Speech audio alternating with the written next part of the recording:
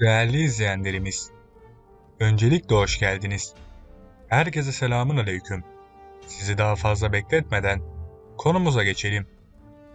Türkiye savunma alanında yerli ve milli teknoloji hamlesiyle Türk ordusunun gücünü arttırmak, ihracatta yeni rekorları kırmak için elinden geleni yapıyor. Savunma ve havacılıkta 4 milyar dolar ihracat gerçekleştirerek 2022 yılında ihracat rekorunu kıran savunma sanayi, 2023 yılında 6 milyar dolar ihracat gerçekleştirmeyi hedefliyor. Savunma Sanayi Başkanı İsmail Demir, yeni bir teknoloji üzerinde çalışıldığını söyledi. Kuantum teknolojilerin geliştirmeye başlandığını ifade etti. LIDAR ve KUDAR projeleriyle görünmez hedefleri ifşa eden, körleştirilemeyen, aldatılamayan, sahada oyun değiştirici projeler olacaktır dedi. Bildiğiniz gibi 5. nesil savaş uçakları gizli radar teknoloji sayesinde tespit edilmesi çok zor hedefler. Günümüz radarları bu avcı uçakları tespit etmek konusunda yeterince iyi değiller. Bu doğrultuda kuantum radar teknolojisinin geliştirilmesi konuşuluyor. Günümüzde Çin, Rusya, ABD ve Kanada'da bu teknolojinin geliştirilmesi için çalışmalar yürütülüyor. Bu teknolojiyi geliştirmek gerçekten çok önemli. Çünkü adeta 5. nesil savaş uçaklarının en önemli özelliğini etkisiz hale getirmek anlamına geliyor. Peki kuantum radar teknolojisi nedir? Kuantum radarı, belirsizlik ilkesi veya kuantum dolaşıklığı gibi kuantum mekanik etkilere dayanan spekülatif bir uzaktan algılama teknolojisidir. Genel olarak bir kuantum radarı, mikrodalga aralığında çalışan, radyasyon kaynağı veya çıkış tespiti açısından kuantum özelliklerinden yararlanan ve klasik bir muadilden daha iyi performans gösterebilen bir cihaz olarak görülebilir. Bir yaklaşım, alıcıda uygun bir interferometrik kuantum tespitiyle birlikte girdi. Bir kuantum radarının teknolojik olarak uygun bir prototipinin yolunu açmak, bazı inceleme makalelerinde tartışıldığı gibi bir dizi deneysel zorluğun çözümünü içerir. Mevcut deneysel tasarımlar 1 metre mertebesinde çok kısa mesafelerle sınırlı görünmektedir. Potansiyel uygulamaların bunun yerine yakın mesafe gözetimi veya biyomedikal tarama için olabileceğini düşündürmektedir. Bir tasarım 2005 yılında savunma yüklenicisi Lockheed Martin tarafından önerildi. Bu çalışmanın patenti 2013 yılında alındı. Amaç, klasik radarların sağlayabileceğinden daha iyi bir çözünürlük ve daha yüksek detay sağlayan bir radar sistemi oluşturmaktı. Bununla birlikte bu tasarımla teorik olarak hiçbir kuantum avantajı veya daha iyi çözünürlük kanıtlanmamıştır.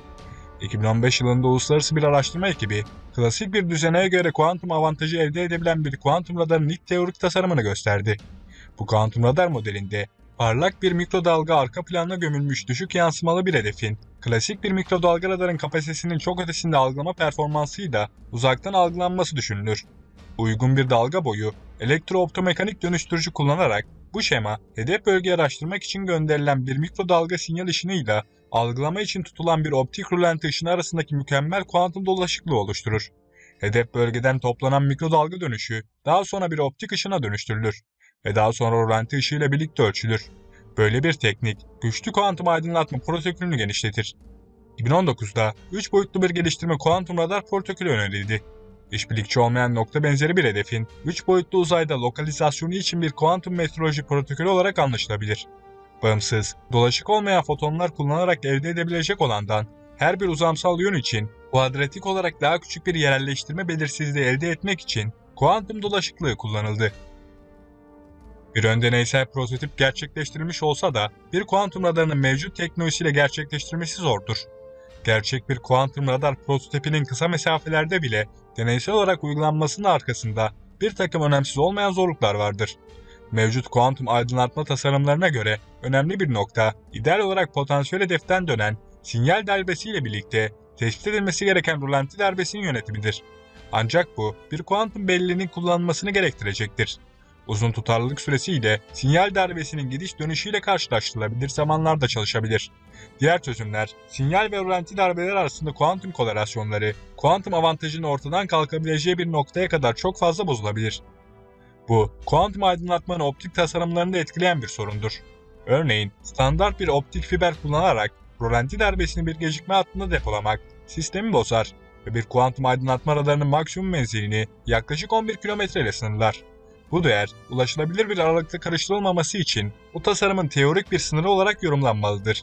Diğer sınırlamalar, mevcut kuantum tasarımlarının bir seferde yalnızca tek bir polarizasyon, azimut, yükseklik, menzil, Doppler kutusunu dikkate alması gerçeğini içerir.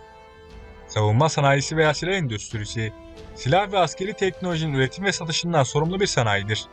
Savunma sanayi, askeri malzeme, tesisat ve tesislerin araştırma ve geliştirme, mühendislik, üretim ve servis hizmetlerine yer alan ticari bir endüstriden oluşur.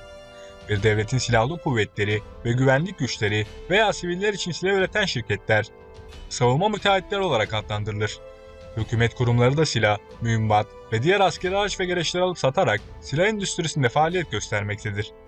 Savunma sanayi ürünleri, silahlar, toplar, mühimmatlar, füzeler, askeri uçaklar, askeri araçlar, radarlar, gemi, elektronik sistemler, füzeler, gece görüş cihazları, holografik silah nişangahları, lazer mesafe ölçerler, lazer nişangahlar, el bombaları, kara mayınları, tanklar ve daha fazlasını içermektedir.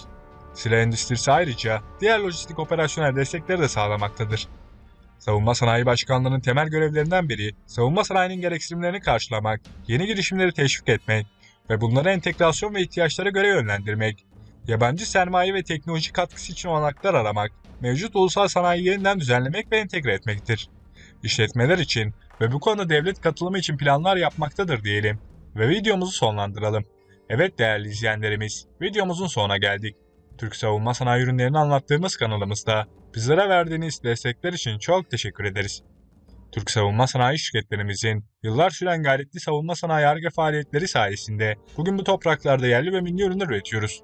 Türk savunma sanayi projelerinden ve Türk Silahlı Kuvvetleri envanterine giren yeni ürünlerden haberdar olmak için kanalımıza abone olmayı, eğer videomuzu beğendiyseniz beğenmeyi ve fikirlerinizi yorumlarda belirtmeyi unutmayın. Bir sonraki videoda görüşmek üzere, hoşçakalın.